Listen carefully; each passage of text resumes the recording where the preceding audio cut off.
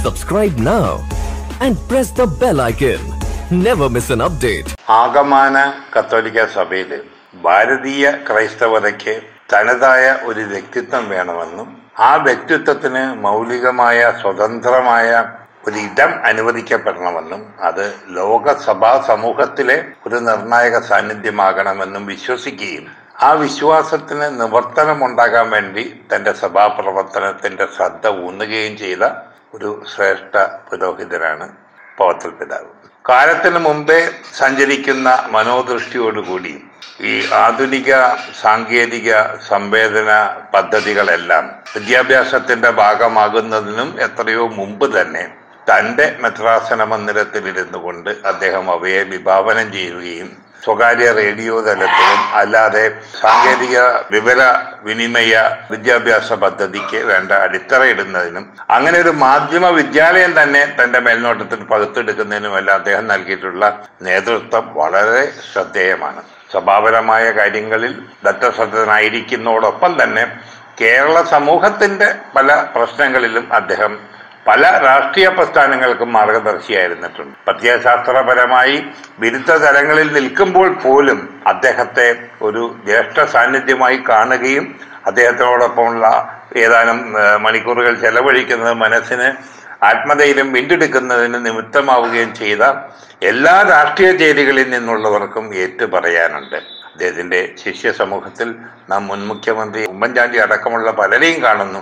ഉമ്മൻചാണ്ടി തന്നെ പറഞ്ഞിട്ടുണ്ട് മനസ്സ് വല്ലാതെ കലുഷിതമാകുമ്പോൾ സങ്കീർണമാകുമ്പോൾ വൈകാരിക സമ്മർദ്ദം കൊണ്ട് മനസ്സിന്റെ സ്വാസ്ഥ്യം നഷ്ടപ്പെടുമ്പോൾ നേരെ ഞാൻ അരമനയിൽ ചെന്ന് അത്തിൽ പിതാവിന്റെ അടുത്ത് ചെന്ന് കുറച്ചു നേരം നാട്ടുവിശേഷങ്ങൾ പറഞ്ഞ് പുറത്തേക്ക് ഇറങ്ങും കുഞ്ഞുഞ്ഞെ നീ ധൈര്യമായിട്ടിരിക്കുക നിന്റെ മനസ്സിന് ദൈവം സ്വാസ്ഥ്യം തരുമെന്ന് പിതാവിന്റെ ഒരു അനുഗ്രഹവാചകം കേട്ടിറങ്ങിയ.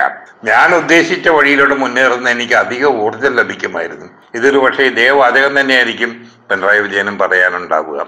അങ്ങനെയുള്ള ഒരു ബഹുജന ബഹുവിഭാഗ ജനവിഭാഗ സമ്മതി എന്ന് പറയുന്നത് അദ്ദേഹത്തിന്റെ പ്രവർത്തന ശൈലിയുടെ ഏറ്റവും വലിയ വിളബലങ്ങളിൽ ഒന്നാണ്.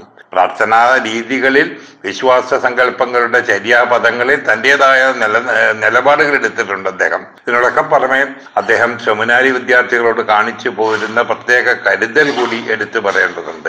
അദ്ദേഹവുമായി ഏറെ നേരം അദ്ദേഹത്തെക്കുറിച്ചുള്ള ഒരു ഡോക്യുമെന്ററിയുടെ രചനയുമായി ബന്ധപ്പെട്ട് ചെലവഴിക്കുവാൻ എനിക്ക് ഭാഗ്യമുണ്ടായിട്ടുണ്ട്.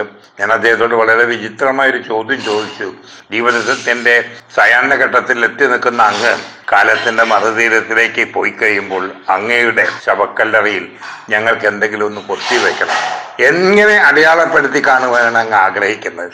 വളരെ വിചിത്രമായ ചോദ്യത്തിന്റെ നേർക്ക് വളരെ അലിവോടെ ചിരിച്ചുകൊണ്ട് അദ്ദേഹം പറഞ്ഞു സെമിനാരിയിലെ കുട്ടികളെ സ്വന്തം പിതാവിനെ പോലെ സ്നേഹിച്ച ഒരു നല്ല അപ്പൻ. അവർ ഈ സമൂഹത്തിന്റെ വിളക്കാകുവാൻ വേണ്ടി അവർക്ക് വേണ്ടി കണ്ണീരോടെ പ്രാർത്ഥിച്ച ഒരു നല്ല ഇടയൻ. അങ്ങനെ ഓർമ്മിക്കപ്പെടുമെങ്കിൽ അതാണ് എന്റെ ജന്മത്തിന്റെ ഏറ്റവും വലിയ സാഫല്യം. അദ്ദേഹം പറഞ്ഞ ഈ വാക്കുകളിൽ തന്നെ അദ്ദേഹത്തിന്റെ ആത്മീയ ചൈതന്യത്തിന്റെ സത്ത നമുക്ക് വായിച്ചെടുക്കാവുന്നതാണ് ശ്രേഷ്ഠനായ ഈ നല്ലിടയന് ഞാൻ അയലാരോഗ്യങ്ങൾ നേരുന്നു അദ്ദേഹത്തിന്റെ പ്രാർത്ഥന നമ്മുടെ സമൂഹത്തിന് ശാന്തിയും സ്ഥൈര്യവും പാരസ്പര്യവും സഹിഷ്ണുതയും വീണ്ടെടുക്കാൻ സഹായകമാകട്ടെ എന്ന് പ്രാർത്ഥിക്കുന്നു